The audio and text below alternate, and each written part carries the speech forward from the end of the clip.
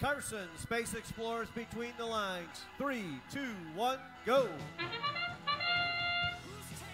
We've got 1768 off to the race. That Robo Chief squad with the hatch panel down low. Berrien Springs placing on the cargo. And that's going to get that Blue Alliance five points. Team Dave making moves at the rocket. Other partner, Nemesis from New Jersey, tries to pull from the corner feeder station. Ooh, and they got two. Had to eject one. Springs throws one low on the blue rocket accidentally getting in the way of Team Dave, their partner.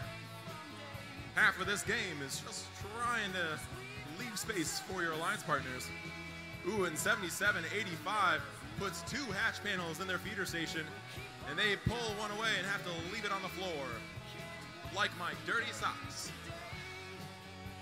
We've got 1768 over in the corner, and they try to score a double hatch panel. They go high to try and relieve the issue, and it's good for two points. Berrien Springs getting misaligned by that 30-82 bot.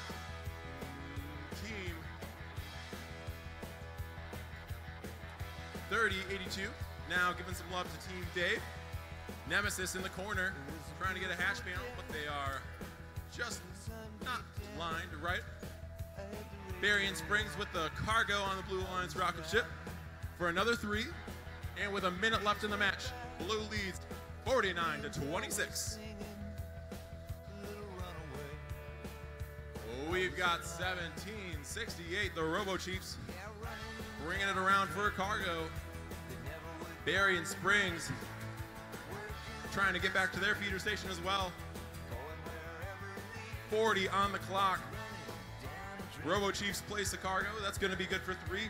They need three more cargo to complete that rocket. While Berrien Springs place their last hatch panel and need two more. 30 seconds to go. Can they do it?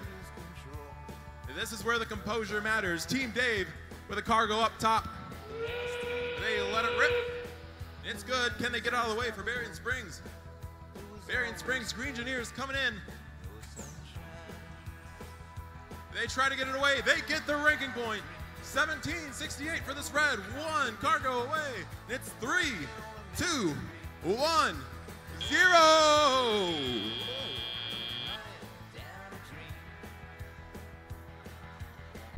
The Blue Alliance is taking home a new car with a score of 88 to 51.